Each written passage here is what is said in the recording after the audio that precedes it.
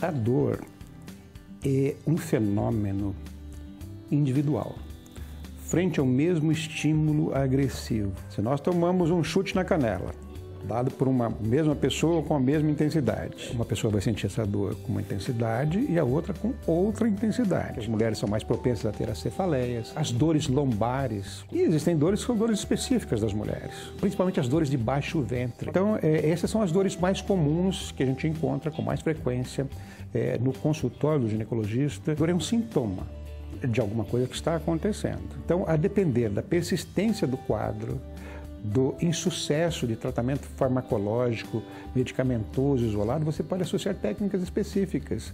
Né? Tem várias. Você pode usar, por exemplo, a eletroestimulação.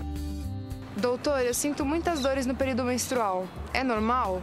A cor da minha dor é roxa. A menstruação costuma ser um processo, eh, em geral, pouco doloroso para a grande maioria das pessoas. Entretanto, não é incomum que as pacientes refiram dores no período menstrual. Pode acontecer sem que tenha nenhuma doença e a sua persistência, o aumento da sua intensidade, pode nos levar a imaginar que alguma doença esteja associada, a exemplo, da endometriose. Doutor, eu trabalho sentado e sinto muitas dores nas costas. O que posso fazer? A cor da minha dor é roxo. Precisa procurar um médico para que o médico faça o diagnóstico correto. Num primeiro momento, deve ser procurar mudanças, adaptar o local de trabalho para que se tenha mais conforto para o exercício das funções. Doutor, eu sou fanática por musculação. Pego pesado às vezes, mas às vezes sinto dor no ombro.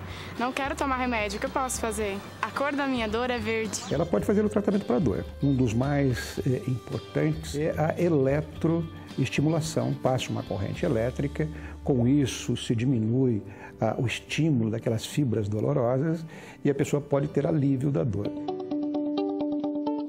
Quando você fala em atleta de alto rendimento, ele está sempre no limite dele. Então a dor está sempre associada a esse tipo de atividade deles. No dia que ele sofreu essa contusão, seria o grau máximo, um roxo, que ele não conseguiria virar, não conseguia fazer nada. E a verde, eu posso dar um exemplo para você quando o atleta volta depois de um, de um jogo, de uma atividade. É uma dor que na verdade não vai é, tirar ele de uma atividade física, mas você tem que tomar cuidado com isso. A fisioterapia procura utilizar é, recursos, tá? são meios físicos que pode ser a parte de termoterapia, eletroterapia. O TENS é utilizado sempre voltado para a dor.